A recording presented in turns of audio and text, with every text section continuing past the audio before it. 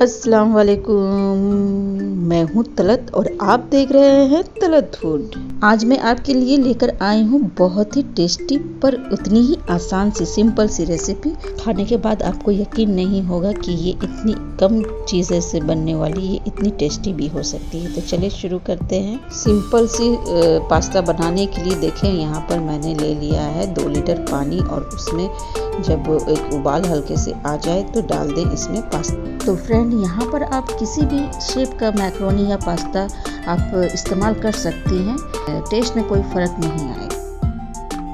अब यहाँ पर मैं डालूँगी नमक। तो फ्रेंड आपकी पास्ता जितनी हो उसके हिसाब से ही नमक पड़ेंगे। और यहाँ पर मैंने डाला है एक चम्मच के करीब वाइट ऑयल और इसे एक बार चला दें ताकि नीचे पास्ता लगे नहीं।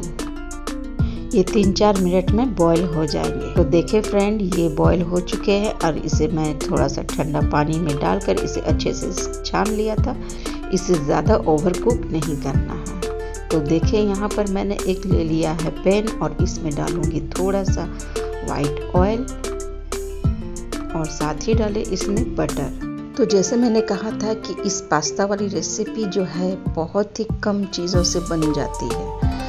इसमें बहुत सारे मिर्च, मसाले वगैरह नहीं होते हैं। तो फ्रेंड देखिए, ये मेल्ट हो चुका है अच्छे से। यहाँ पर मैं डालूँगी अब मैं छोटे छोटे कटे हुए प्याज। तो इसे खूब ज़्यादा हमें फ्राई नहीं करना है पर हल्का लाइट ही फ्राई करना है।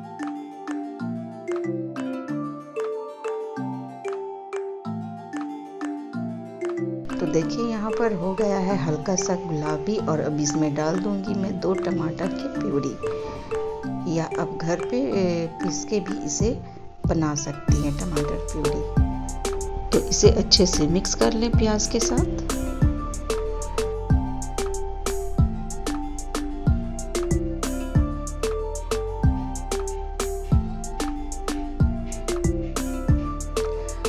टमाटर प्याज अच्छे से भून चुका था तो यहाँ पर मैं डालूँगी एक से डेढ़ चम्मच टमाटर सॉस।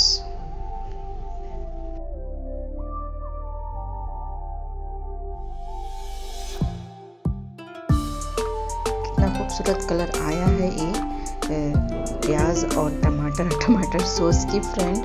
तो देखिए, ये भी भून चुका है अच्छे से। और इस टमाटर प्याज वाली ग्रेवी में भी डालना है थोड़ा सा नमक। आप अपने टेस्ट के मुताबिक ही लें और साथ ही डालें इसमें थोड़ी सी गरम मसाला पाउडर और हाफ़ चम्मच के करीब लाल मिर्च पाउडर देखिए, ये अच्छे से सब मिक्स हो चुका है। अब मैं इसमें डालूँगी थोड़ा सा पानी, जिसे थोड़ा इसे लिक्विड बनाने के लिए। तो यहाँ पर मैंने डाल दिया है थोड़ा सा पानी और इसे अच्छे से मिला लें।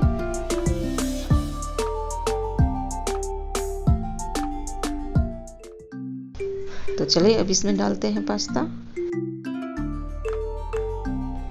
और अब इसमें डालूँगी मैं एक या डेढ़ कप के करीब दूध। तो दूध इस रेसिपी में बहुत ही ज़रूरी है और इसे हमें अच्छे से मिला देना है सभी। दूध डालने से इसमें तीखापन कम हो जाता है और ये हल्का मीठा मीठा सा होता है। अच्छा आप चाहें तो यहाँ पर थोड़ा सा चिली फ्लेक्स भी डाल सकती हैं। अब आखिरी स्टेप ये रहेगी कि हमें डालना है यहाँ पर चीज़।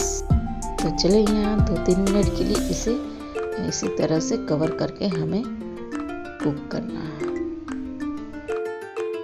आइए चेक करते हैं। तो चीज़ मेल्ट हो चुका है।